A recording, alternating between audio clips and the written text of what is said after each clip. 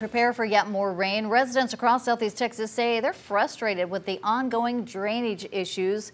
After a long meeting earlier this week with Jefferson County Commissioner, many feel like the changes aren't coming soon enough.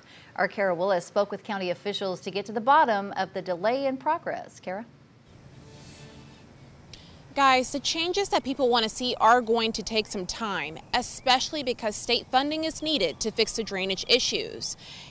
Those affected by heavy floodwaters every season are areas like Hamshire Fannett.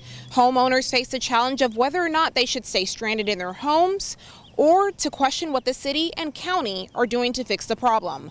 Judge Jeff Branick says that it's going to take some time to fix these issues and it's going to they're going to be adopting new changes in the emergency management plan based on disaster recovery needs. He says that unfortunately that recovering from a disaster at the federal government level can take up to 7 years you know, people anticipate you're going to have a storm. You're going to see damage like we saw in Harvey in 2017 uh, and that the problem is going to be taken care of within a year or two, which is not the case.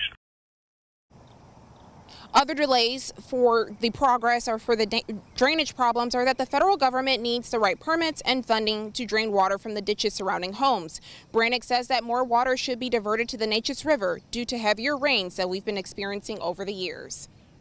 Coming up next, I'll be able to tell you what Speaker Phelan says goes on at the state level when it comes to drainage problems. Guys,